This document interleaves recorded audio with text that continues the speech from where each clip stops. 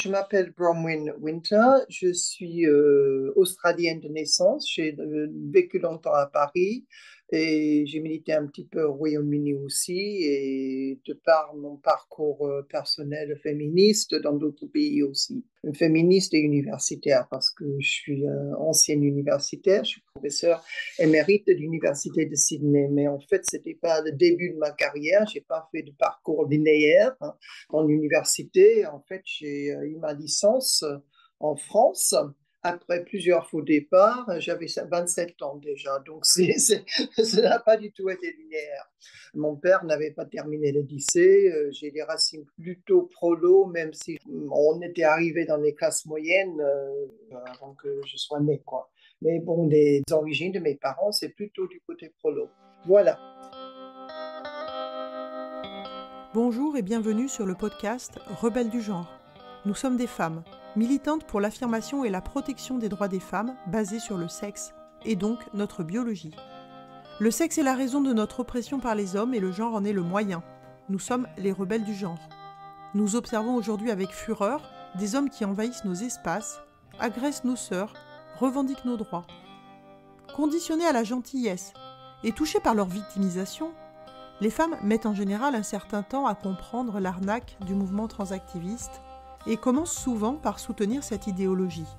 Puis elles ouvrent les yeux, constatent sa violence et la refusent. Ce podcast est là pour donner la parole à des femmes qui expliqueront pourquoi et comment elles sont devenues critiques du genre et qui témoignent de leur parcours. Écoutons leurs paroles.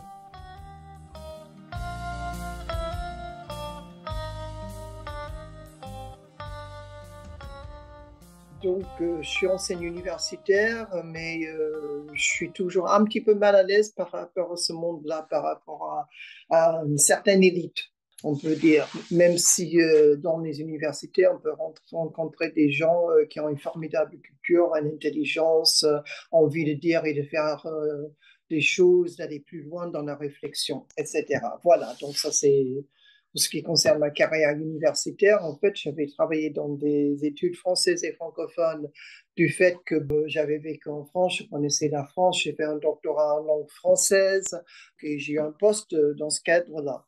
Mais j'étais euh, toujours un petit peu en porte-à-faux par rapport à. Bon, c'était. Euh, les sections de langues étrangères ne sont pas forcément que littéraires en Australie. Il y a sciences sociales, il y a histoire, il y a d'autres choses, quoi. Donc moi, j'étais plutôt du côté des sciences sociales et politiques et de l'histoire.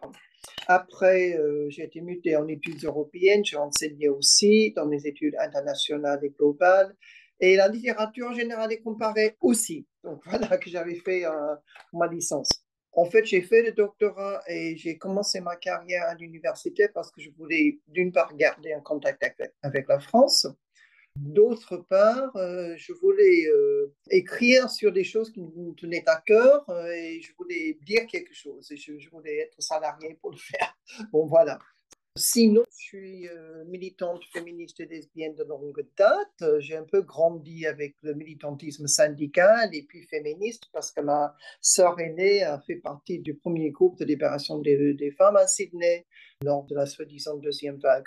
Donc, j'ai un peu grandi avec tout ça. Donc, pour moi, c'était tout à fait naturel de devenir féministe. Euh, bon, je faisais du théâtre aussi, j'aimais beaucoup le théâtre. C'est ce que j'aurais voulu faire, mais j'aimais pas le milieu. Le milieu des arts du spectacle, je trouvais euh, foncièrement misogyne, donc j'ai décidé de ne pas insister. La prise de conscience féministe, comme je viens de le dire, j'ai un peu grandi avec. Hein.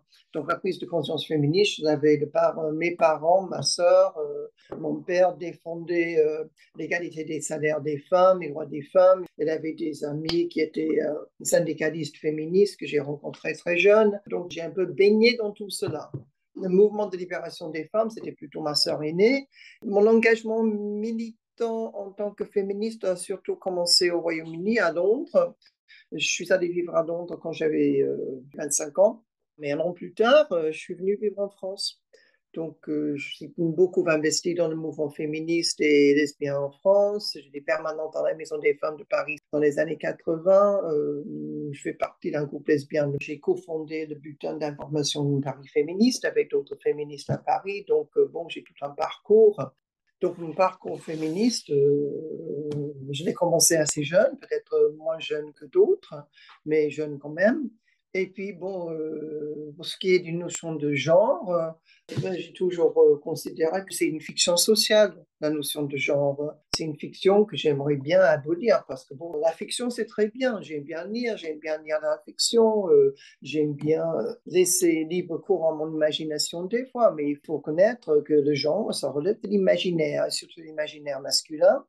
Et c'est nocif pour les femmes parce que ça permet d'étayer, de maintenir euh, un système de domination masculine. Donc, je n'en veux pas de ce concept de genre. Par ailleurs, ce qui est euh, assez choquant, c'est que ce terme a été assez rapidement institutionnalisé. C'est un États-Unien, John Money, qui a, non, en fait, il été néo-zélandais, mais il a travaillé aux États-Unis, euh, qui a inventé ce concept de gender role, rôle basé sur le genre. Elle n'a pas inventé le concept d'identité de genre, mais elle avait travaillé sur le des trans. Contrairement au, lobby trans, que veut le lobby trans aujourd'hui, elle a quand même elle a passé quand même deux ans avec euh, en psychothérapie avec les personnes qui se disent en trans pour être sûr que c'était de vrais trans. Le vrai trans, c'est un concept euh, auquel je ne crois pas. On peut revenir à cela dans quelques instants, si tu veux. Donc, ce Mani, il avait en fait euh, fondé la première clinique de genre aux États-Unis à Johns Hopkins University, qui se trouve, je crois, à Baltimore, euh, dans le Maryland, donc pas loin de Washington, de la capitale. Et c'était en 65 déjà. Et cette clinique fonctionne encore. Hein. Donc, c'est lui euh, le responsable, si vous voulez, de ce concept et parler de rôle de genre qui était basé sur les stéréotypes sexuels elle n'était pas très claire sur beaucoup de choses. Et ce qui est assez navrant, c'est qu'il y a un certain nombre de féministes plutôt libérales, plutôt de classe, qui ont décidé d'adopter ce concept pour parler du sexisme dans la société. Après, il y a les Nations Unies qui s'en mêlent. Donc maintenant, on parle de violences faites aux femmes, on parle de gender-based violence, de violence basée sur le genre. Mais les violences ne sont pas basées sur les genres.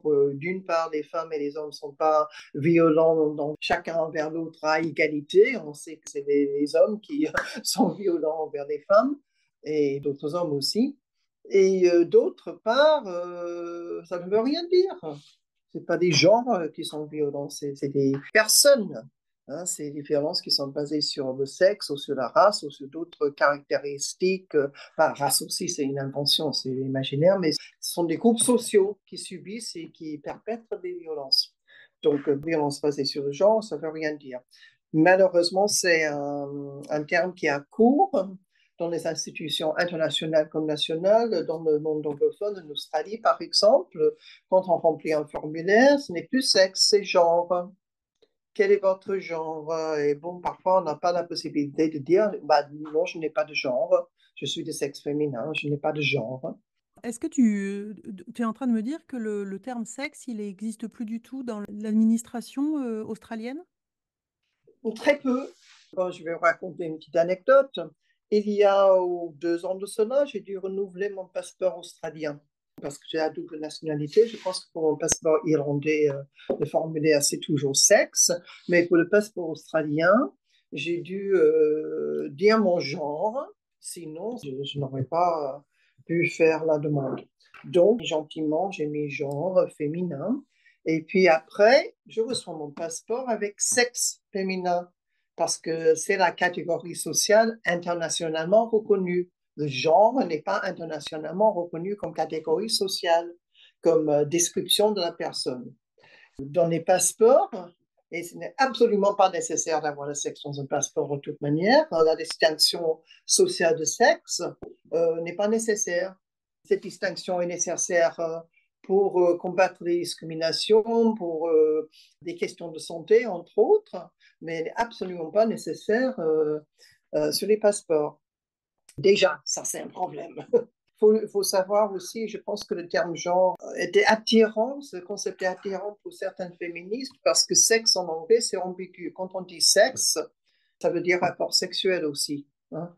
Pour certaines, c'est un outil pour parler de la domination masculine, des discriminations basées sur le sexe euh, de manière très claire. Mais bon, je pense que c'était pas très utile, quoi. J'ai aussi l'hypothèse, euh, tu sais, en français, on dit, euh, par exemple, les adjectifs s'accordent en genre et en nombre. Euh, donc, par exemple, je sais pas moi, une chaise blanche.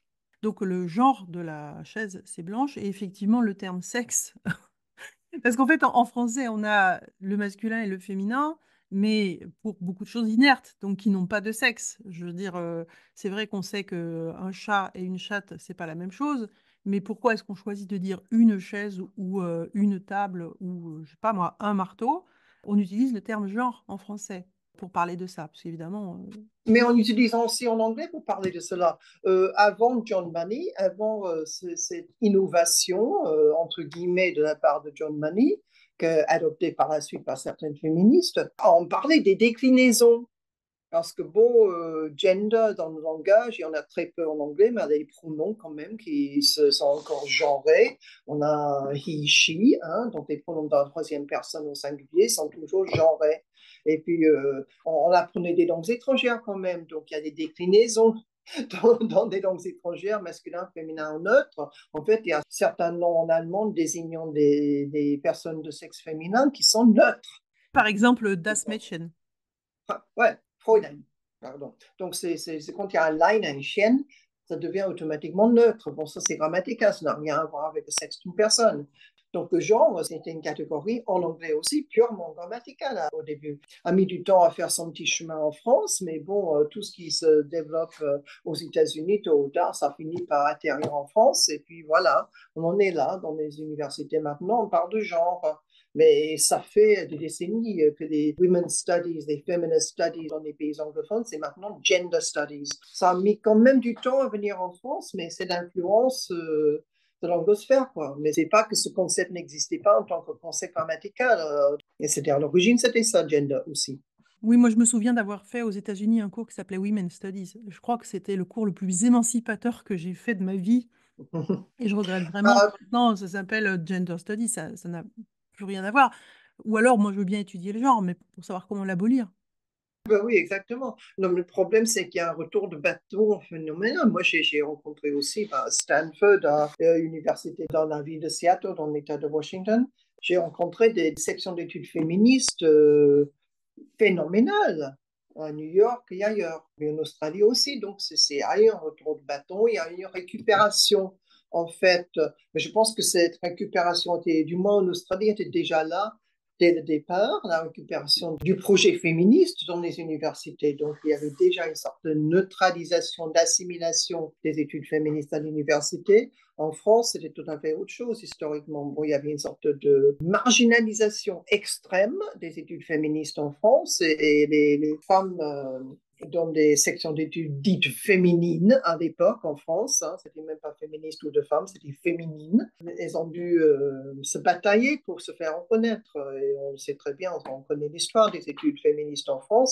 Elles se bataillent encore, mais maintenant ça se transforme en études du genre, ce qui est euh, D'accord. Et aujourd'hui, ton combat euh, pour l'abolition du genre, euh, il prend quelle forme? Ce qui m'agace quelque peu, et bon, ça date pas d'hier, hein, le combat contre le lobby trans, euh, ça remonte euh, assez loin. Mais actuellement, avec l'institutionnalisation de la logique de genre qui s'appliquerait à l'identité de genre, on est un peu accaparé par ce problème-là, au dépend de toute autre chose, parce que ça, c'est tellement gros, ça prend tellement de place. Il y a une logique orwellienne qui est derrière. Le, le terme femme veut maintenant dire son contraire. Ça ne veut plus rien dire le mot femme. En fait, si les hommes peuvent être des femmes, femme est synonyme de personne humaine. Il n'y a pas de catégorie femme. Donc, on est une guerre de langage même a été déclarée contre nous. Ce n'est pas nouveau ça, parce qu'il y a toujours, euh, on a toujours eu à préciser la terme, parce a dans les sociétés libérales, c'est comme ça que ça marche aussi, à travers le langage, à travers la récupération, à travers euh, la distorsion aussi de nos propos. Donc, euh, ça prend quand même beaucoup de place euh, à l'heure actuelle et j'aimerais bien passer à autre chose parce qu'il y a tellement d'autres problèmes que vivent les femmes, les violences faites aux femmes, la pauvreté, la crise du logement. Il y a de plus en plus des sans-abri. Du moins en Australie, je pense que c'est à peu près partout pareil, de groupes qui euh, augmente de plus en nombre en ce moment de, sans-abri, ce sont des femmes d'un certain âge, 55 ans, 60 ans et plus. Donc les femmes âgées deviennent de plus en plus importantes parmi les sans-abri. Donc c'est quand même inquiétant. Tellement de questions touchant aux femmes contre le sexisme dans les emplois, dans les écoles, les violences, euh, n'en parlons pas, parce que ça aussi, ça va croissant, hein, le taux de violence faite aux femmes, ça ne diminue pas. Hein. En France, il y a en plus l'offensive euh, pro-prostitution et euh, pro-GPA qui est associée en fait aux droits des personnes trans, en fait, comme si ça faisait partie des libertés fondamentales des personnes trans. Premièrement, de pouvoir prostituer d'autres personnes ou de se prostituer, etc considérer que leur corps est une marchandise. Et bien sûr, ben, en matière de droit reproductif, le droit à la GPA, moi personnellement, manifestation récemment, euh, j'ai une mère d'un jeune euh, trans qui m'a agressée en me disant euh, Vous êtes contre la GPA, mais c'est dégueulasse, vous êtes transphobe. Dans tous les pays occidentaux, ça va de pair. projet de PA, pro-prostitution, euh, pro-trans. Mais être pro contre trans, c'est un peu un faux débat. Je suis contre la GPA, je suis contre la prostitution, je ne suis pas contre les mères porteuses, je ne suis pas contre les prostituées. Donc il y a une nuance à faire. Je suis contre le rapport de domination, je ne suis pas contre les personnes. Moi, je ne suis pas anti-trans, je suis contre l'idéologie de l'identité de genre. Oui, merci de l'avoir précisé, parce que c'est la position, bien sûr, des féministes radicales. On n'est jamais contre les, personnes qui sont des victimes de, tout ça. Au contraire. Hein, c'est justement parce qu'on a une certaine idée de la dignité humaine et du respect des personnes qu'on est contre la pratique. Ben oui, exactement. Et euh, je pense néanmoins que la personne trans, c'est un être fictionnel, et surtout l'enfant trans. C'est comme euh, la licorne ou euh, la sirène ou l'enfant qui croit qu'elle est poney ou bon d'autres genres de fantasmes. C'est un être imaginaire. La personne trans, ça ne veut rien dire. Ça veut rien dire. Il n'y a pas d'essence de, femme ou d'essence d'homme qui plane comme ça dans la nature et on en est dans un corps euh, sexué, mais avec une essence euh, d'un autre euh, genre, entre guillemets, dans sa tête. Donc, avec le trompage de corps à l'arrivée. Ben oui, ça, c'est complètement absurde parce qu'on est dans le corps où on est, et puis, bon, le cerveau, il va avec, et, bon, on est quand même, notre cerveau, notre, notre capacité de raisonnement stress, c'est bon, c'est tout est chimique, hein, c'est biochimique. Il n'y a rien qui existe en dehors de cela, parce que moi, je ne crois pas, je suis pas religieuse, je ne crois pas au bon Dieu, donc il y a, il y a que ça, il y a notre vie matérielle sur Terre, et toutes nos pensées, c'est contenu dans, dans cet être matériel. Donc, euh, on est capable d'imaginer toutes sortes de choses, et pour moi, euh, la personne trans, c'est un être fictif. Ceci dit, ceci dit, nuance importante. Une personne adulte consentante, ben, le consentement, c'est euh, dans les sociétés euh, domination masculine, c'est un terme interrogé. Hein. Ceci dit, un adulte consentant a le droit de s'habiller comme il veut, a le droit de faire ce qu'il veut avec son corps. Donc, à rigueur, si une femme a envie de se prostituer, on peut comprendre qu'elle a envie de se prostituer, sauf que c'est, en général, c'est pas une envie, c'est une contrainte. Hein. Donc, le libre choix, la défense du libre choix des femmes qui sont mères porteuses et des femmes qui se prostituent, c'est pas vraiment un libre choix, c'est un choix qui est fait sous contrainte. Donc, euh, là, on peut difficilement parler de libre choix. Ce qui n'est pas le cas des trans. Je pense que les trans, pour les enfants, si. Hein, je pense qu'il y a une contrainte idéologique mais pour les adultes, bon, euh, si un homme se sent mieux en, s'habillant en femme, en, une caricature de femme, ça existe depuis longtemps, les travestis. Hein, donc, on s'habille comme on veut, hein, on s'habille comme on veut, et ça me dérange absolument pas. Du moment qu'ils ne viennent pas euh, nous faire chier, qu'ils prennent temps de pas, qu'on euh, doit sacrifier, nous, femmes, devons sacrifier nos acquis pour eux. Là, les problèmes, c'est la radicalisation des enfants. Sinon, bah, tout le monde vit sa vie et euh, vit tranquillement à un moment de ne pas faire mal aux autres. Le problème, c'est que ça passe par euh, l'acte de faire mal aux autres. Il y a aussi la contrainte quand même de dire, euh, j'ai fait l'effort, ou pas d'ailleurs, de mettre une jupe et du rouge à lèvres, donc tu dois considérer et me traiter comme si j'étais une femme. Et ça, c'est une violence dans l'absolu. Oui, mais ce n'est pas eux qui vivent la contrainte. Ils nous contraignent, mais ce ne sont pas eux qui vivent la contrainte. C'est contrairement aux femmes prostituées, aux femmes euh, mères porteuses, elles, elles, vivent une contrainte. Une contrainte, qu'elle soit économique, qu'elle soit idéologique, etc. Mais un mec qui s'habille en robe, bon, on peut peut-être euh, le plaindre parce que bon, euh, il se rend moche souvent. Mais bon, c'est comme les femmes d'ailleurs qui se mettent en robe et bon, qui se maquillent et tout ça. Moi, je trouve aussi qu'elles se rendent moches. Mais bon, c'est, ça, c'est un autre problème. Mais il a le droit de se rendre moche s'il veut. Moi, franchement, je m'en fous. S'il se met des talons, du maquillage, il tient les cheveux en rose, je m'en fous complètement du moment qu'il ne vient pas me dire que je dois sacrifier un espace lesbien, je dois exposer les femmes à des violences potentielles, du moment où les femmes ne sont pas euh, appelées à sacrifier leurs droits, ça m'est parfaitement égal ce qu'ils mettent sur le dos. Ça m'est parfaitement égal comment ils se comportent dans la société. Ça m'est parfaitement égal mais qui se disent pas femmes parce qu'ils ne sont pas femmes. Et par contre, il y a une limite quand même dans ce que tu dis, enfin il me semble, c'est la question médicale. Je veux dire, est-ce qu'on peut considérer que les gens sont parfaitement libres, par exemple, d'exiger qu'on les médicalise et qu'en plus on fasse du mal à leur santé, ou qu'on ampute des organes qui fonctionnent dans leur corps? Ben Ça, ben pour les enfants, je pense qu'il n'y a absolument pas le droit. Je crois que si on a lutté pendant des années et des années contre l'excision, la mutilation euh, génitale et la mutilation sexuelle des femmes, bon, euh, je ne vais pas me retourner et défendre maintenant, surtout pas pour les mineurs.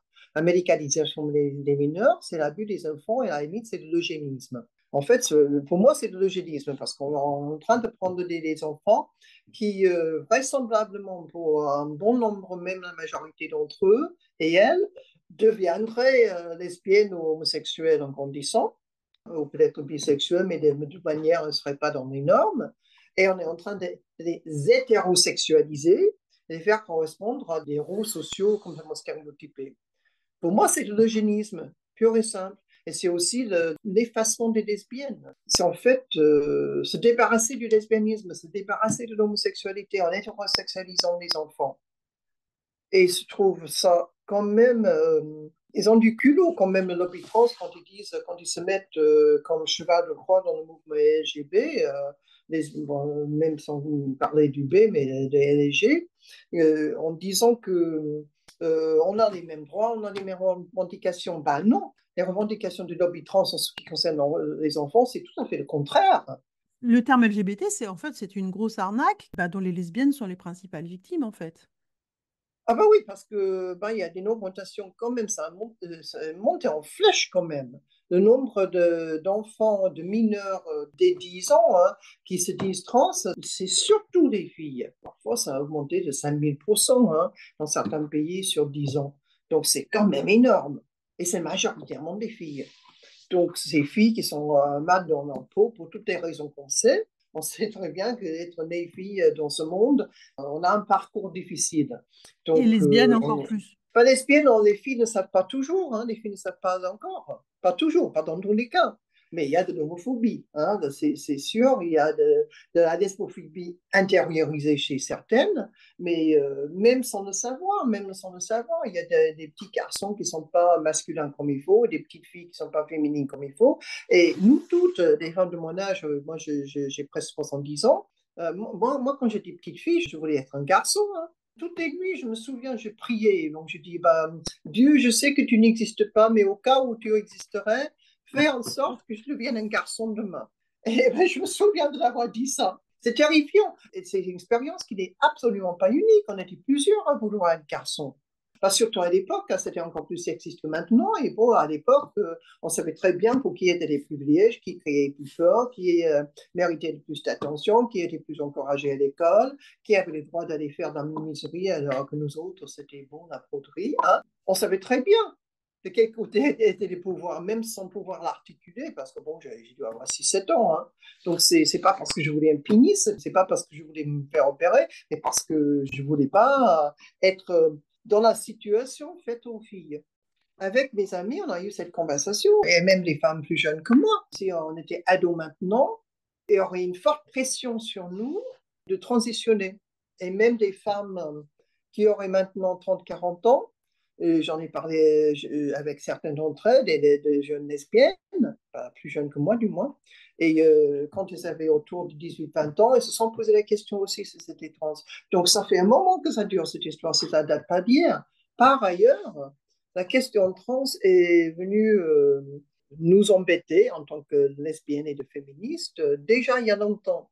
Euh, j'ai fait partie d'un grand débat même un psychodrame dans le milieu lesbien de Sydney vers le début des années 90. Et ce n'était pas qu'à Sydney, il y avait aussi une rencontre lesbienne dans le Queensland, je pense que c'était à Brisbane en 94, si je ne me trompe pas, où il y a aussi eu euh, une grande engueulade par rapport à un trans, un homme identifié femme, on dit en anglais trans-identified male, qui voulait participer à la rencontre. Et en fait, ça a divisé les participantes lesbiennes. Donc à Sydney, les débats étaient énormes.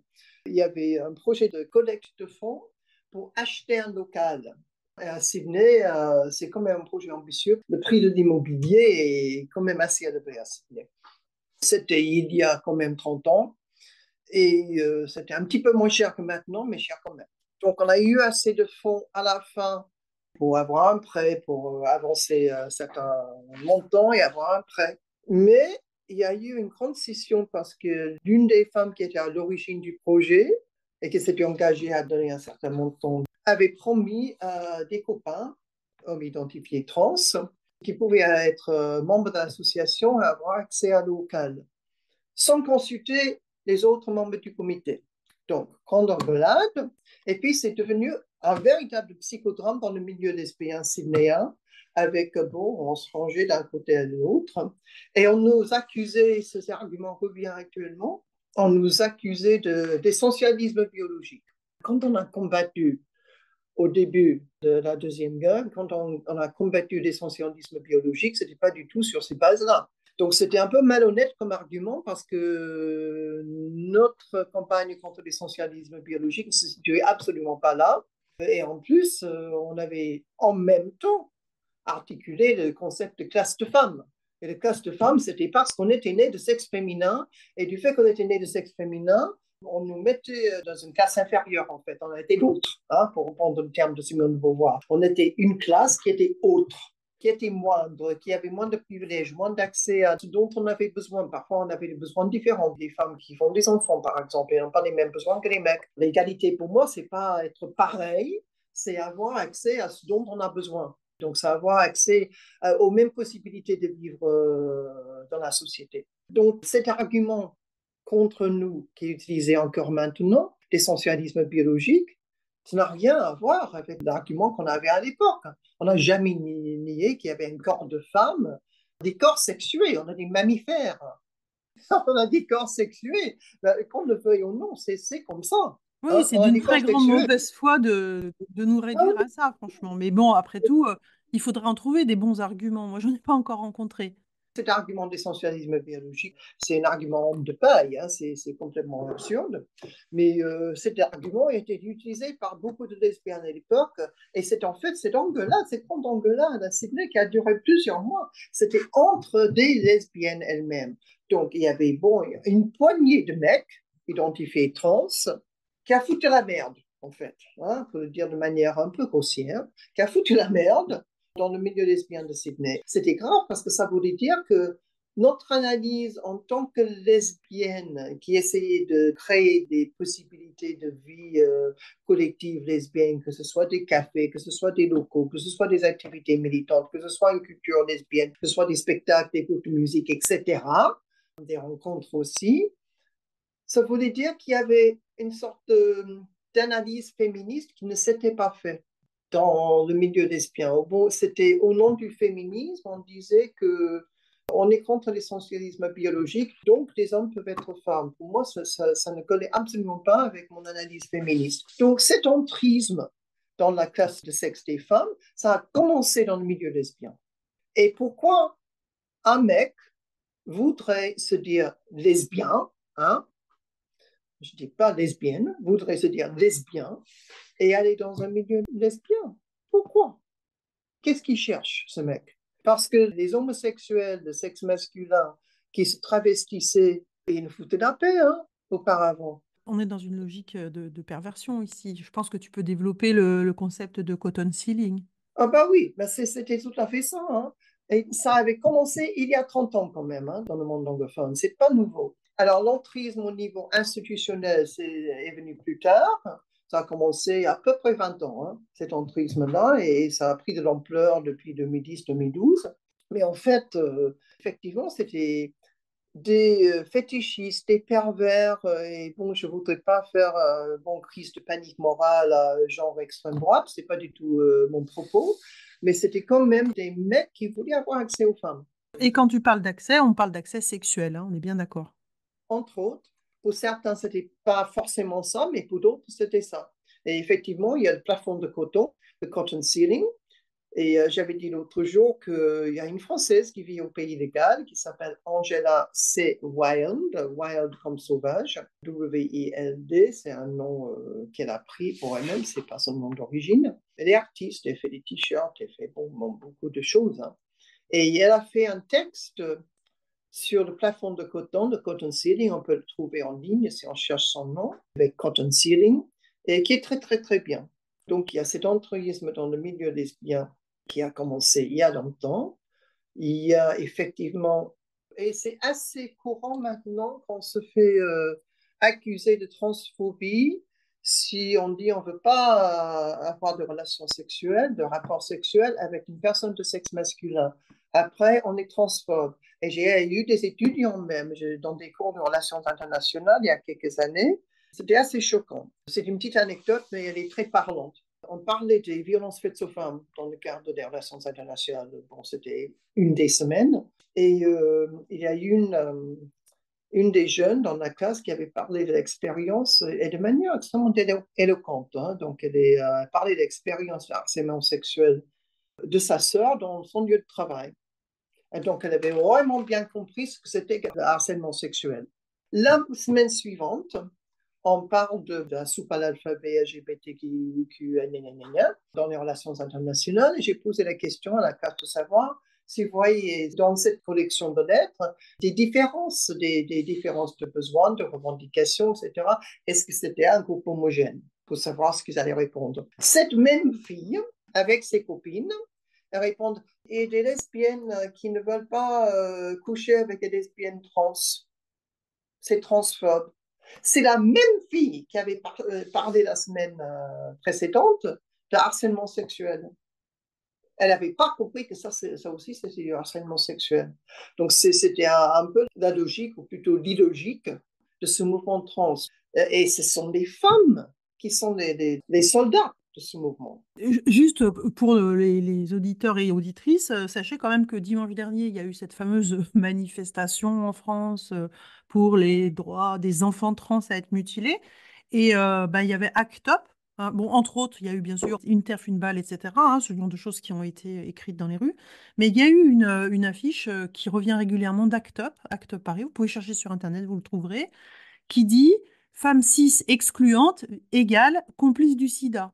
Le raisonnement étant le suivant, puisque les femmes cis, bah, par exemple les lesbiennes, hein, comme tout le monde sait, c'est des femmes cis, excluantes, c'est-à-dire n'acceptant pas de relationner avec des, euh, des femmes trans, c'est-à-dire des lesbiennes à pénis, eh bien, seraient complices du sida, puisque elles les forceraient à avoir des relations entre eux, ce qui euh, serait des relations plus à risque que des relations avec elles. Enfin bref, je vous passe les détails, mais en fait, il y, a évidemment tout est à l'envers dans cette histoire, mais c'est quand même une vraie association subventionnée très, très, très, très largement en France qui va faire ce genre d'affiche. Et c'est vraiment scandaleux, parce que qu'est-ce que c'est derrière? C'est de la culture du viol et de l'homophobie. Enfin, de la ah bah lesbophobie. tout à fait. Bah, on a une organisation en Australie qui s'appelle ACON, AIDS Council of New South Wales, mais qui a bon, l'envergure maintenant nationale et qui se préoccupe de plus en plus de la question trans et qui est lourdement subventionné aussi, plusieurs millions de dollars. Et euh, pour la journée de la visibilité lesbienne qui a été inventée par le mouvement LGBT, ça n'a rien à voir avec la journée lesbienne euh, du, euh, je pense que c'est 8 octobre, qui vient du mouvement lesbien lui-même. Donc, cette journée de visibilité lesbienne qui est, je crois, en avril de 26, je ne me souviens plus. Oui, c'est le 26 avril et qu'on a mis une affiche avec un homme identifié trans qui se dit lesbienne, comme la figure, l'emblème de cette journée de visibilité lesbienne. C'était scandaleux. Et ACON, comme Human Rights Campaign aux États-Unis, comme Stonewall au Royaume-Uni, comme une organisation comparable en Nouvelle-Zélande, et ça, viendra peut-être, c'est déjà peut-être venu en France, accorde des, points aux entreprises qui euh, auraient une bonne politique LGBTQA.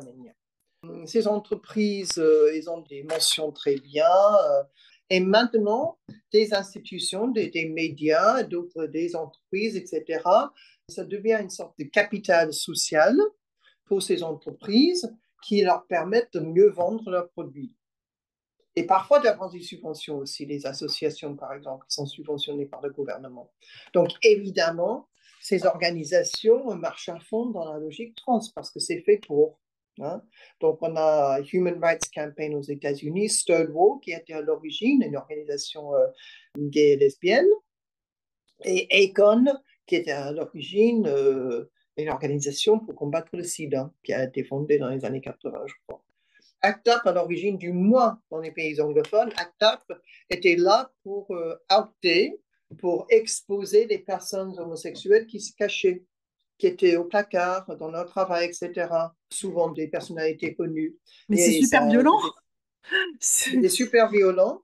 C'était ça la au début. Hein. C'était ça, sa raison d'être au départ. Mais bon, ça a changé un petit peu et en étant transplanté dans d'autres pays, ça a changé un petit peu d'objectif. Bref, mais j'ai pas tellement envie de parler d'ACT mais ce genre de slogan, sur Marianne, sur la statue euh, la place de la République, euh, il y a un tag avec euh, mon corps, mon genre, ta gueule. Mais en passant devant la statue, on peut voir ça. Bon, on a ça partout, partout, partout. Ce qui euh, me gêne énormément, c'est que des femmes deviennent euh, les soldats de ce mouvement.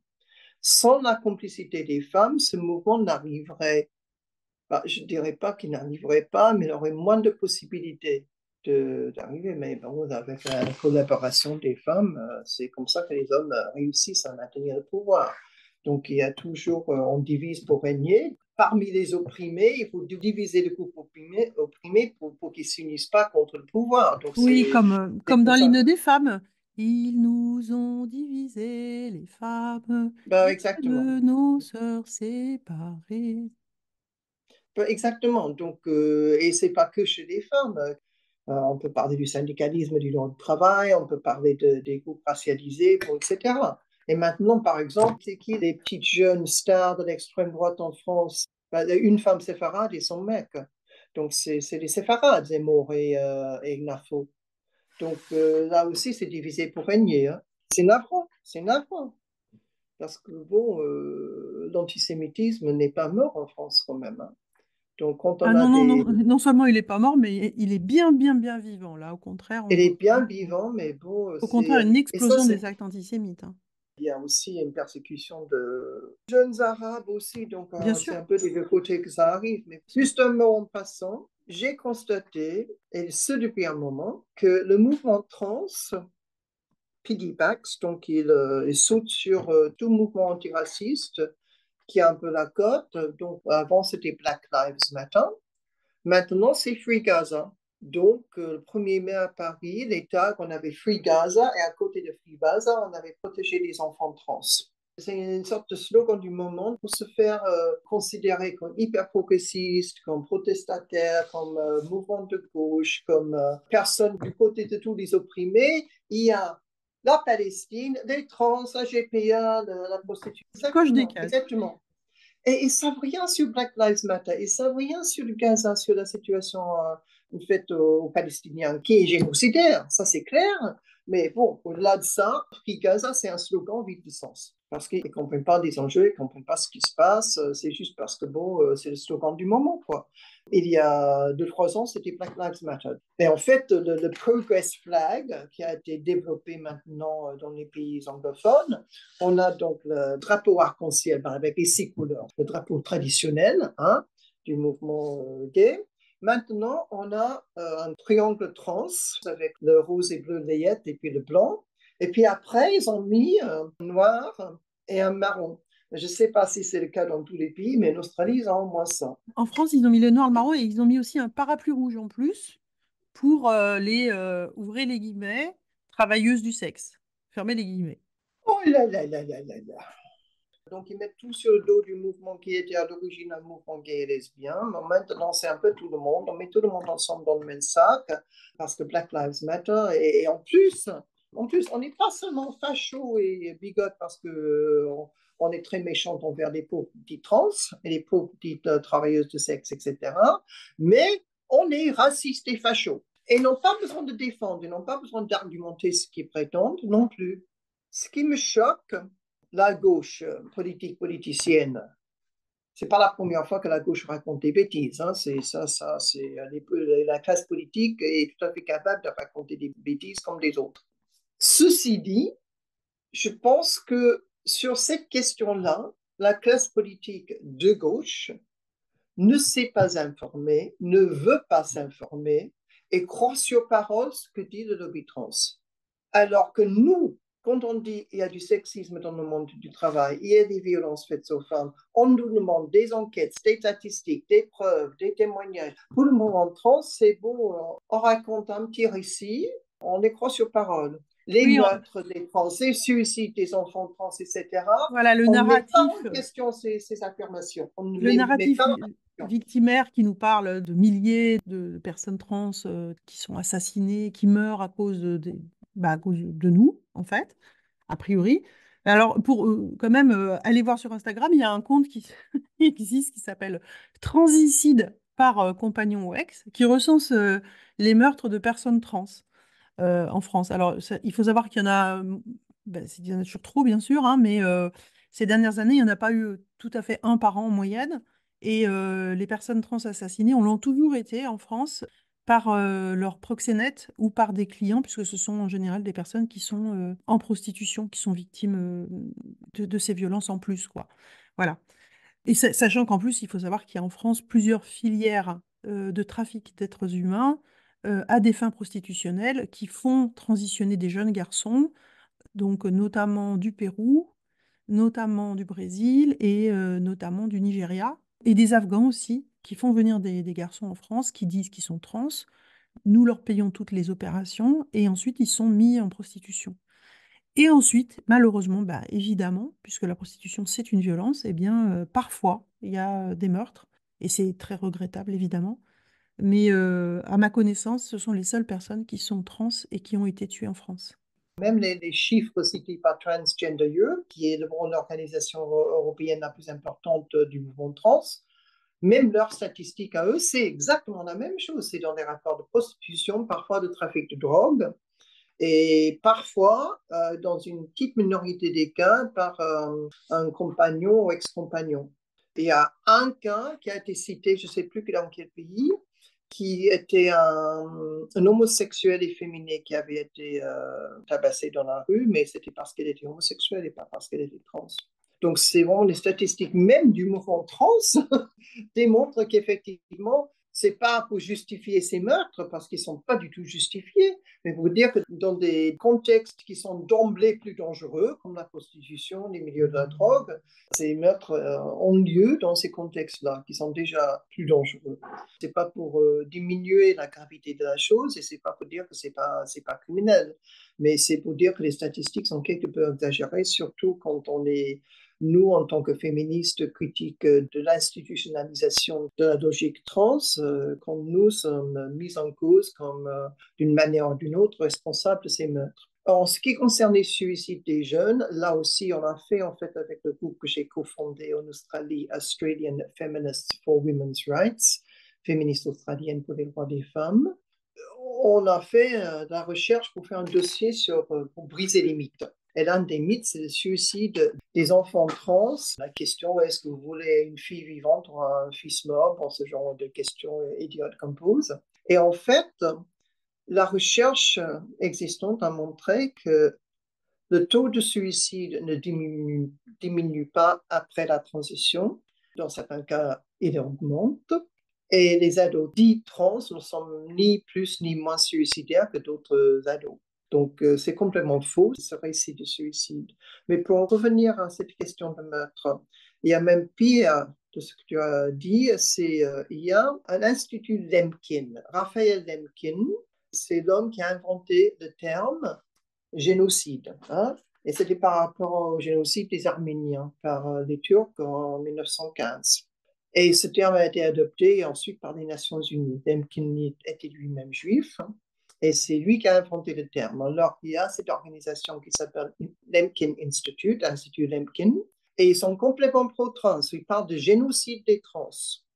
Alors, il n'y a pas du tout de génocide des trans, et c'est euh, quand même complètement trahir la mémoire de Lemkin et la mémoire des personnes qui ont subi effectivement des génocides comme les Arméniens, comme les Juifs, comme les Palestiniens actuels, donc comme les Rwandais. Euh, donc il y a plusieurs exemples de génocide dans le monde. Et les trans euh, ne figurent pas dans ces exemples. Donc c'est euh, tout à fait malhonnête. Mais comme toute la propagande trans, elle est malhonnête. Mais c'est, mais c'est, enfin moi ça me, ça me révulse de, d'imaginer qu'on mette leur fantasme au niveau de massacre de populations entières mais enfin. Ah oui, tout à fait, tout à fait. Non, mais c'est grave, c'est très grave. C'est une perte de terrible. Mais la classe politique a une responsabilité là-dedans. Et que la classe politique est notre gauche. Je dis notre gauche entre guillemets parce que, bon, la plupart des féministes qui travaillent là-dessus, il y a des femmes qui votent pour la droite, il y a des personnes, bon, sans dans cette notion de pic trans. Il y a, donc, c'est un monde extrêmement euh, hétéroclite. Hein, donc, c'est un peu de tout. C'est très disparate. Donc, euh, on n'est pas toutes des féministes longue date, on n'est pas toutes des féministes radicales, on n'est pas toutes. Euh, donc, cette prise de conscience des dangers de l'idéologie trans, il y a un peu de tout. Il y a un peu tout le monde. Ceci dit, nous, féministes, qui euh, nous penchons sur cette question-là, on est majoritairement de gauche. On vote, si on vote, on vote pour des partis de gauche. Et on est trahi par notre, entre guillemets, notre gauche. Bon, c'est pas nouveau. Hein. La gauche, euh, de toute manière, c'est toujours une question de moins pire. Hein.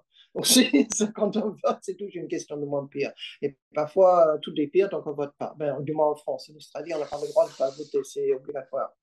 Mais la gauche est irresponsable et ce qui euh, est très clair pour moi, c'est que la misogynie n'est pas prête de disparaître. Et il y a même une recrudescence de misogynie actuellement que je trouve très grave ce lobby trans, euh, lobby pro-prostitution, euh, pro-GPA y est pour quelque chose, mais le fait que la gauche considère tout cela comme progressiste ou comme euh, quelque chose qui permet d'avancer les droits, les droits de la personne, ça veut dire ou bien ils veulent bien comprendre ce que c'est que la misogynie, ou bien ils n'ont jamais rien compris. C'est très clair qu'on reste l'autre et que les femmes je veux dire des femmes. Je ne m'appelle pas cis, je ne suis pas sous-groupe de mon propre sexe, on est des femmes. Et je, réclame le mot parce que, bon, euh, ce n'est pas n'importe qui qui se dit femme, ça veut dire quelque chose. Et bon, en tant que femme, euh, on est considéré comme moindre, on est considéré euh, comme pas humain par entière, parce que nos droits passent après les droits de tous les autres. Et nos droits doivent même être sacrifiés pour les autres. Et là, je ne suis pas d'accord. Donc aujourd'hui, tu témoignes, Brenouine, sous ta réelle identité, mais tu sais que la plupart de nos, des femmes qui témoignent à Rebelles du genre le font anonymement. Est-ce que tu peux nous, parler des, bah, des, risques en fait que tu peux identifier à prendre position sur cette question et aussi des entraves à nos libertés? Les entraves à nos libertés sont de taille. Dans mon groupe, que, j'ai cofondé, la cofondatrice du groupe, elle a des problèmes dans son travail, s'identifie de manière très ouverte. Il y a des membres qui ne peuvent pas être publics à leur nom parce qu'il y a des risques pour elles ou leurs filles. Il y a une euh, membre du groupe euh, qui est très active, qui fait beaucoup de choses, mais elle ne peut pas s'identifier publiquement parce qu'il y a un garçon identifié trans euh, au lycée de sa fille. C'est au collège, mais il n'y a pas de distinction entre le collège et le lycée en Australie. Donc, cette fille, doit partager euh, des vestiaires avec les garçons, euh, aussi une excursion euh, de week-end, ils peuvent dormir quelque part pendant une nuit. Les garçons peuvent dormir dans les dortoirs de filles. Donc, c'est un risque réel pour les filles qui, sont mal dans leur corps, etc., qui ne veulent pas s'exposer devant les garçons pour toutes les raisons qu'on sait. C'est un atteinte à leur intimité de fille.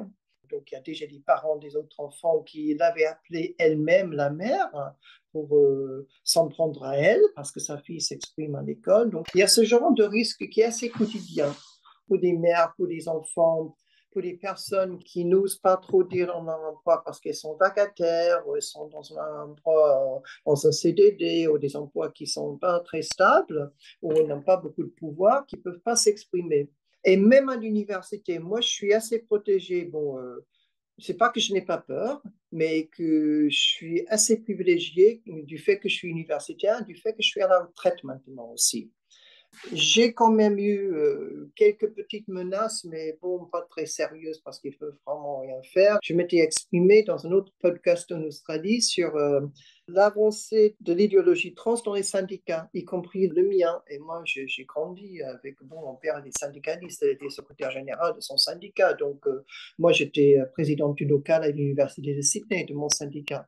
Donc, dans ce syndicat, il y avait une personne trans qui a en fait colonisé, il n'y a pas d'autre mot, colonisé le, Queer Caucus, Queer Unionists in Tertiary Education, donc c'est-à-dire le groupe euh, LGBT du syndicat que j'avais cofondé.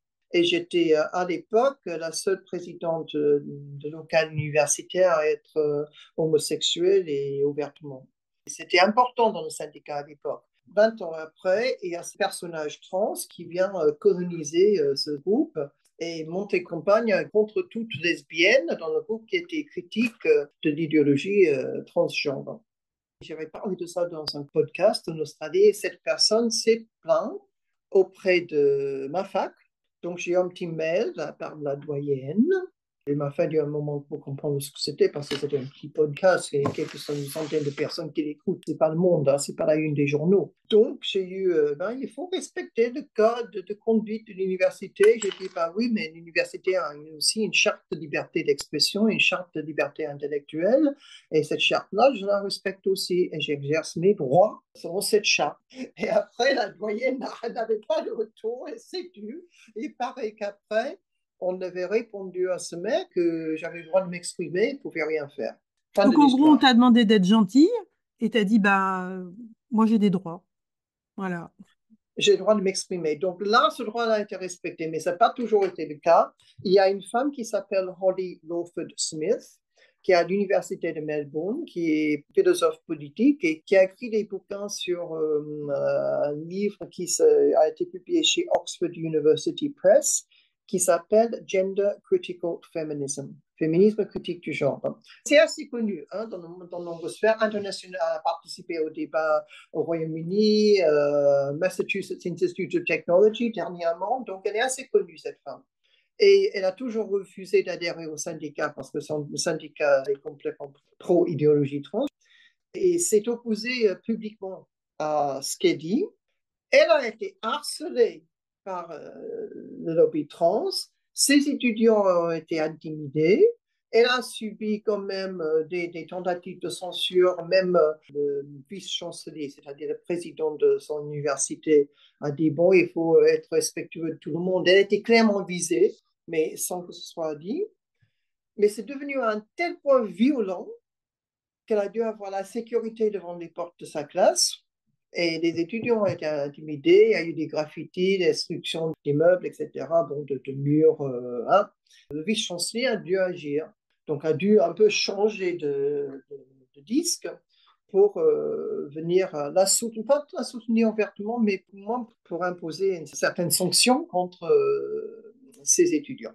Donc, elle, maintenant, est allée à la Cour, euh, c'est Work Health and Safety, donc c'est droit de santé au travail. C'est un tribunal concernant les accidents et la santé au travail. Donc, elle a porté plainte contre son université parce qu'elle n'est pas en sécurité dans son lieu de travail.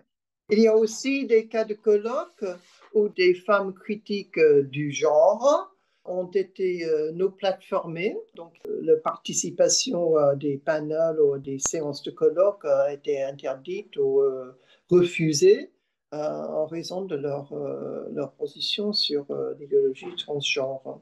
Donc il y a quand même une censure, disons, informelle qui opère.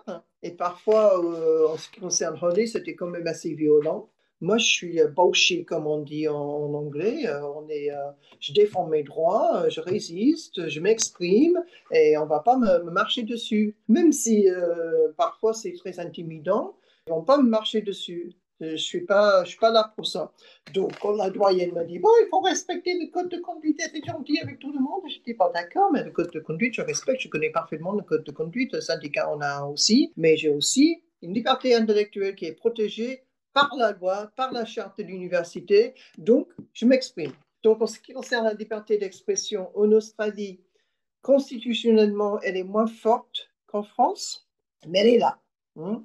Elle est défendue aussi par les instances euh, gouvernementales. On est quand même signataire de la Convention internationale sur les droits civils et politiques et la liberté d'expression y est de manière claire. Mais en fait, cette liberté d'expression est entravée pas par une répression directe, mais par une marginalisation. C'est-à-dire que si on, et on, dans mon assos, on, on fait plein de, beaucoup de présentations écrites de contributions quand il y a un appel à consultation pour euh, des projets de loi ou sur telle ou telle question, que ce soit au niveau national, au niveau des États ou au niveau international. On fait un dossier, on envoie quelque chose. Et il est très rare qu'on tienne compte de ce qu'on dit, qu'on nous prend au sérieux.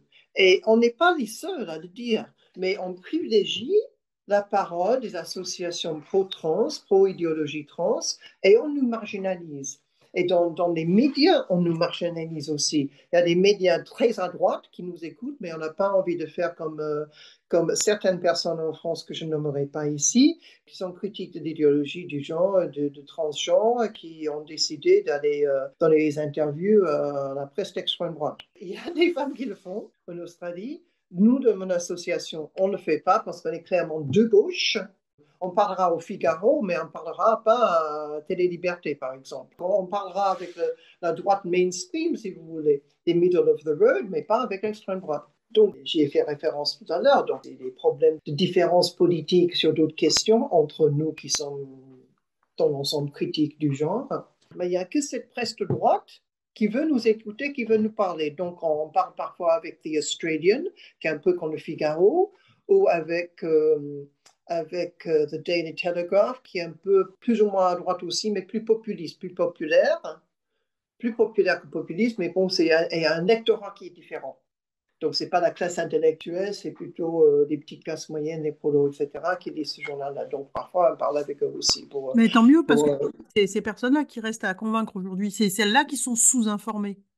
Ben, qui ne sont pas informées du tout, qui ne sont pas du tout au courant de ce qui se passe. Mais la chaîne nationale publique qui est l'ABC, Australian Broadcasting Corporation, ils sont complètement pro-idéologie trans, mais de manière flagrante. Ils ne nous écoutent pas. On se plaint. On se des médias mainstream, euh, le Sydney Morning Herald, qui est euh, un journal de Sydney qui a une publication sœur à Melbourne. En fait, c'est le journal australien le plus lu en Australie ce journal-là, petit à petit, il commençait à nous écouter, mais pendant des années, c'était vraiment la propagande trans qui publiait. C'est grave. Oui. Est-ce que tu as une anecdote ou un événement que tu voudrais développer, raconter sur la transidentité ou le transactivisme? Bah, J'en ai deux en fait. Je vais peut-être commencer par euh, parler des enfants un petit peu plus, parce qu'on n'a pas tellement parlé des enfants. la chaîne nationale, donc ABC, qui est publique, il y a une journaliste qui travaille pour cette chaîne qui est très connue pour euh, sa défense de l'idéologie trans, qui est assez navrant parce qu'elle est lesbienne à deux filles. Donc je ne comprends pas sa logique, mais c'est comme ça. Et elle, il y a une émission d'actualité très connue qui existe depuis longtemps qui s'appelle Four Corners. On parle des quatre coins du monde, donc c'est Four Corners. Et c'est sur... Euh, les enfants trans, c'est terrible ce qui se passe, ce qui est fait aux enfants trans. Ils avaient interviewé un petit peu des personnes qui étaient plus critiques, mais juste un petit peu. Donc l'ensemble de l'émission était en faveur de l'enfant trans, de la transidentité, et c'est terrible ce qu'on fait aux enfants trans, ils devraient pouvoir se transitionner, Ce qui était énervé, une exploitation cynique qui m'a profondément choquée. J'ai ressenti une profonde détresse en fait en regardant cela, il y avait une jeune anorexique. Et il faut savoir que l'anorexie, euh, c'est la maladie mentale la plus meurtrière parmi toutes les maladies mentales. Et c'est euh, une cause importante aussi de mort de femmes. Cette fille, elle avait dans les 13-14 ans, elle était anorexique. Et elle était très, bon, elle faisait petite lesbienne. Hein, mais elle se disait garçon, elle se disait trans. Et on a vu sa mère en pleurs. Cette fille est, est morte en se privant de nourriture. Donc, euh, elle est morte de faim. Sa mère, tout en pleurs, oui, parce qu'il y a la transphobie, elle n'était pas bien traitée pour euh, la transition, on ne permettait pas de transitionner, mais le problème n'était pas là. Pour nous, beaucoup d'entre nous, on en a parlé entre nous et c'était choqué. On a écrit des lettres de protestation hein, et des communiqués à la presse. Et bon, évidemment, c'était passé sous silence. Pour nous, c'était évident que cette fille était d'une part anorexique, donc elle détestait pas. Il y a beaucoup de filles qui sont anorexiques parce qu'elles détestent leur corps et n'aiment pas que ce corps se transforme en corps de femme, elles assument mal, pour toutes les raisons qu'on sait. Et c'est l'anorexie qui l'a tuée. Et sans doute un lesbianisme refoulé. Et on n'a pas mentionné ce mot une seule fois, alors que la présentatrice était lesbienne elle-même. Et c'était évident que c'était une, petite lesbienne en devenir qui était mal dans sa peau, qui se privait de nourriture et qui en est morte. Et pour moi, c'était tragique. C'était tout à fait tragique. Ça n'aurait pas dû se passer. Si elle avait eu les soins. Euh, Mais elle a eu des soins. Justement, elle était dans une clinique rare où effectivement, il y a eu des soins pour l'anorexie aussi. Mais le problème, c'est qu'avec les réseaux sociaux et tout ce qu'on peut, bon, euh, euh, on la tête de ces, ces jeunes de bêtises sur l'identité trans, etc. Et quand on a une petite fille qui est une jeune fille ado qui est mal dans sa peau, c'est pas bien d'être jeune fille ado quand on est mal dans sa peau, mais c'est cool d'être trans, hein, c'est très cool, à la côte. C'était euh, l'exploitation de la détresse de cette fille qui euh, donc résistait un petit peu au traitement. Elle insistait, et, moi je peux raconter aux auditrices et aux auditeurs peut-être aussi, je peux vous raconter beaucoup d'expériences. J'ai parlé avec des mères en détresse totale parce qu'elles voient leur fille, parfois leur fils, être complètement, mais complètement détruit il y a une femme qui en parle publiquement très souvent en Australie, dont la fille avait transitionné, puis elle a détransitionné. Elle avait déjà des problèmes psychologiques d'ancienneté et autres avant de transitionner. Après la détransition, elle n'a pas quitté sa chambre pendant des mois. Elle était suicidaire. Rapport entre la mère et la fille est toujours problématique. Elle essaie de la soutenir comme elle peut, mais c'est une sorte d'endurance qu'il faut avoir. Il faut tenir le coup pendant des années. Et ça détruit les familles. Et cette femme, elle, me dit, mais, mais j'aurais jamais imaginé que ça puisse arriver. Ma, ma, ma, famille est complètement cassée par cela. Donc, il y a des mères et des grandes-mères, et parfois des pères aussi en détresse. Et quand il y a des affaires des enfants trans où les, les parents ne sont pas d'accord, ça va devant la cour euh, familiale. Il y a une cour familiale qui avait été créée euh, au début en instance de divorce pour avoir un divorce plus égalitaire pour traiter les questions de la garde d'enfants. Et puis, il y avait des conseillers euh, professionnels qui participaient au processus. Au début, c'était bien. Maintenant, la Cour familiale est sous l'égide de la Cour fédérale, donc la Cour Federal Circuit Court, en fait, qui un manque d'indépendance et manque d'expertise est submergé par le dossier. Il n'y a pas assez de personnel. Mais les affaires où les parents ne sont pas d'accord sur les transitions d'un enfant, ça va devant cette cour-là. Il y a une avocate qui a fait un très bon boulot pour montrer effectivement que cette cour-là ne tient pas compte de la recherche en matière de transition des enfants et tranche plutôt du côté de la transition. Donc il y a un scandale médical qui en fait est en train de se produire, y compris au niveau de la garde des enfants et au niveau des cours en Australie et au niveau des médias. Donc on présente des jeunes filles avec euh, des problèmes psychologiques graves lié à plein, plein, plein de choses, parce qu'à la recherche, vous, avez peut-être lu euh, le rapport CAS, euh, qui a été produit au Royaume-Uni, qui est très important hein, et fondé sur une recherche solide. Dans le rapport CAS, il y a plein, plein, plein de comorbidités des jeunes qui se disent trans. Il y a des filles qui sont peut-être lesbiennes, refoulées, il y a des problèmes d'autisme, il y a des problèmes d'hyperactivité, traumatisme lié à des abus sexuels dans certains cas, etc. Et on ne traite pas ces problèmes-là on se penche tout de suite sur cette question de transition et on pousse euh, l'enfant à transitionner socialement et après prendre des bloqueurs de puberté. Et c'est scandaleux. C'est complètement scandaleux. Et quand on a dans les médias des journalistes de gauche connus comme lesbiennes, ouvertement lesbiennes, qui défendent ce genre de choses aussi, c'est désespérant. c'est vraiment désespérant. Il y, y, a de quoi se mettre sous sa couette et, pleurer pendant une heure. Hein. Mais on ne peut pas. Il faut se battre parce que c'est. Ah mais par moment, on peut se mettre sous sa couette, pleurer un peu, manger du chocolat et, et, se ressaisir parce que c'est nécessaire.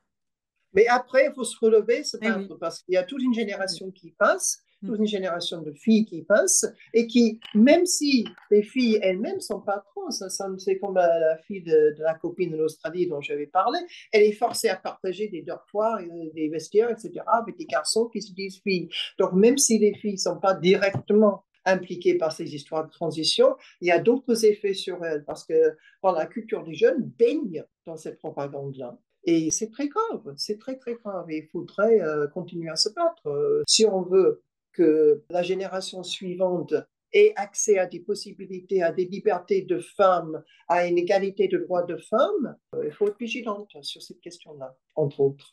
Tu avais parlé de deux anecdotes, donc. Elle est longue aussi. Hein. Il y a un personnage britannique qui s'appelle Kelly J. Keane, euh, qui a un pseudonyme aussi, euh, Posy, Parker, qui se donne des airs de Marilyn Monroe, euh, si, tu, si tu regardes les images d'elle. oui, elle est très connue en France. Le hein. teint blond avec une petite rouge à lèvres très rouge, vous voyez qui c'est. Donc, Kelly J. Keane, donc, elle a fait une tournée en Australie. Donc, déjà, on débattait des prises de position politique de cette femme, qui était pour moi assez douteuse. Elle est très courageuse, très forte sur l'idéologie trans, mais sur d'autres questions, elle est un peu moins claire sur le féminisme, entre autres. Elle est venue euh, faire une tournée en Australie, Let Women Speak, laisser parler les femmes. Et euh, dans le milieu féministe et lesbien en Australie, elle était un peu divisée là-dessus d'autant plus qu'elle a été euh, soutenue et financée par the Conservative Political Action Conference aux États-Unis, qui est euh, conférence euh, politique d'action conservatrice, qui est un groupe républicain, mais républicain très à droite et de plus en plus à droite. Hein. Donc, il soutient Trump, entre autres. Et donc, elle est soutenue par ces gars-là. Et en plus, ça ne donne pas le mal de se renseigner sur la situation politique en Australie avant de venir. Et, pour elle, toute femme peut venir parler, quelle que soit sa position politique. Bon, sa position, euh, ça peut se défendre, mais ça veut dire que parfois, il y a des gens d'extrême droite. effectivement, il y avait des leaders d'un parti d'extrême droite en Australie qui s'appelle Pauline Hanson, qui est venue parler.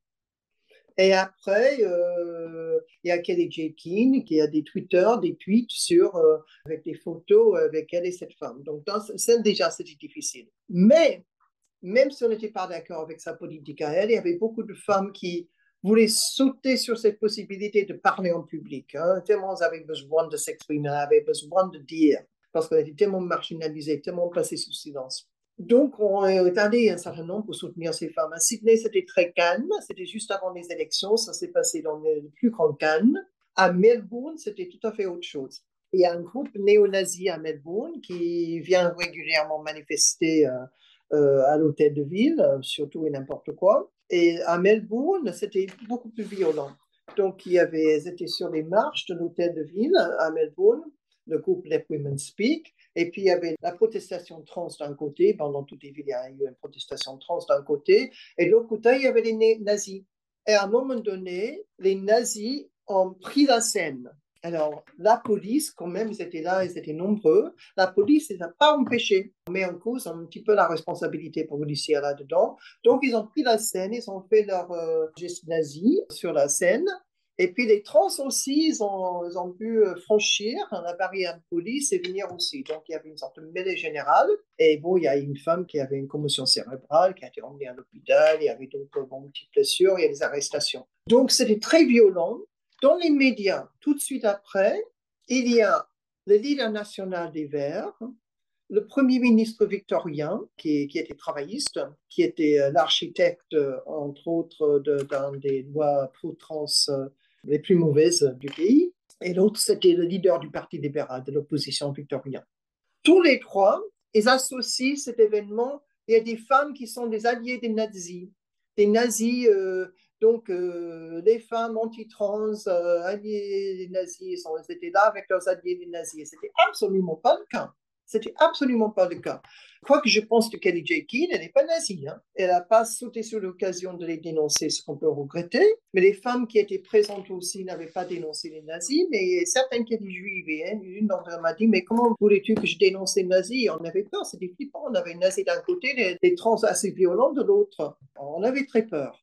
Et puis, euh, la, même femme juive, elle avait été membre des Verts, elle avait été très amie avec le leader des Verts et exprimé une colère et débordée de colère sur les pages de X, de Twitter, euh, en disant Mais Adam Band, c'est le leader des Greens, non, mais oh, tu me connais, je suis pas nazi, je suis juive, je suis pas nazi, pourquoi tu me, tu me traites de nazi? Donc c'était à ce point-là.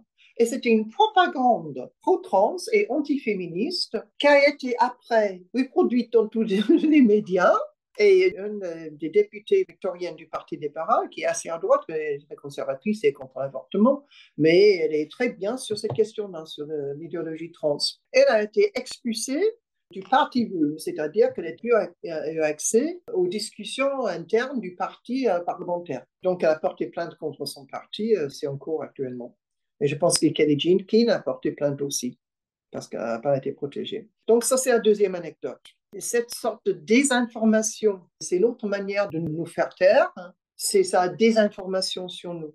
Donc, quoi qu'on dise, on a des bigotes, des nazis, des fachos, euh, des haineuses. Des vilaines filles. Des vilaines filles des, qui sont cruelles euh, envers les pauvres petits chiens-chiens, euh, qui, qui, sont des grandes méchantes et qui sont responsables des meurtres, des suicides, des trans. Et, hein. et ça, c'est pas. Ne l'oublions pas. Donc, c'est assez grave. Depuis ce moment-là, on a fait un petit peu de progrès parce que les médias parlent un petit peu plus de l'autre côté, parce qu'il y a maintenant une réalité transitionneuses qui commencent à porter plainte et qui s'expriment. Donc, euh, ça, c'est bien. C'est sûr que ça passe, euh, ça passe par le fait que quelques femmes courageuses euh, Continue à parler quoi qu'il arrive, comme tu le fais, et puis euh, n'hésite pas à utiliser nos libertés. En fait, nos droits et nos libertés ne s'usent que si l'on ne s'en sert pas. Si on commence à être gentil en acceptant de renoncer à nos libertés fondamentales, ben, c'est la mort. Il faut absolument tenir accepter l'idée de ne pas être gentil. Moi, je, je pense que ça, c'est la pire arnaque, hein, d'essayer de, nous, de correspondre à ça, parce que être gentil, ça veut dire être silencieuse. Et puis, euh, renoncer à tout pour ne pas être accusé d'être coupable d'un génocide. Imaginez un peu. Exactement. Mais peut-être pour terminer, je vais revenir un peu en arrière dans l'histoire contemporaine française pour parler de janvier 2015. Et bon, tout dépasse sur Charlie Hebdo, ils sont anti-islamophobes, comme si les attentats avaient été en, quelque sorte justifiés, en faisant les comme extraction des personnes qui avaient été assassinées parce qu'ils faisaient des courses en étant juifs. Mais bon, alors, il y avait quand même un certain nombre de personnes qui ont dit, mais la satire, Charlie Hebdo, c'était quand même un satire. La satire est là pour offenser. On n'est pas là pour être gentil quand on fait la satire. C'est un peu le propre de la satire. Et en plus, ça offense tout le monde, Charlie Hebdo. Charlie Hebdo, cette semaine, fait une interview de, du docteur Cass, justement. Bah oui, je sais, je sais, je l'ai vu. Et défendre, même si on trouve que Charlie Hebdo, parfois, c'est vulgaire, et c'est vulgaire des fois, je défends euh, leur liberté de parole, je défends la liberté de parole du lobby trans d'ailleurs. Et même de Sarah Nafou, euh, si elle prend la parole, je défends euh, Marianne Maréchal et tout ce beau monde. Bon, je, défends la liberté de parole. Du moment où ce n'est pas de l'incitation à la violence ou à la haine, je défends la liberté de parole. Mais bon, c'est, nous, on n'incite pas à la violence ni à la haine. C'est plutôt le lobby trans qui le fait. Mais eux, ils ont toutes les libertés et nous n'en avons pas. Est-ce que tu veux terminer par un dernier message? Il ne faut pas baisser les bras. Qu'est-ce que tu veux que je dise? C'est euh, que vous vous sentez, comme j'ai dit auparavant, que vous vous sentez concerné par euh, l'égalité entre les hommes et les femmes, que vous vous sentez concerné par le bien-être des jeunes, que vous vous sentez concerné par la liberté de la parole et la possibilité de débattre des questions même sensibles sans peur de violence, ben, il faut continuer. On a peur, on a toute peur, et parfois, euh, je sais que certaines euh, des auditrices, peut-être, vous n'avez pas la possibilité d'en parler haut et fort parce qu'il va de votre travail ou de la sécurité de votre famille. Mais quand vous avez la possibilité, il faut parler. Et il faut être conscient du fait que la plupart euh, des gens ne sont pas conscients de ce qui se passe parce que ça se passe dans un milieu plutôt d'élite. Et en fait, le grand public va s'en rendre compte quand il sera déjà trop tard quand ça va commencer à avoir un impact sur leur famille, sur leur fille, sur euh, les femmes qui sont en prison, les femmes qui sont dans les hôpitaux et ailleurs. Donc, si vous avez les possibilités d'en parler autour de vous, continuez à le faire. Voilà. Merci d'avoir écouté notre parole et n'hésitez surtout pas à partager le plus largement possible. S'il vous plaît, signez la Déclaration des droits des femmes basée sur le sexe, womensdeclaration.com. Rejoignez-nous, n'ayez plus peur, ensemble nous ferons changer les choses. Si vous souhaitez témoigner, contactez-nous. Et à bientôt pour un nouveau témoignage de Rebelles du genre.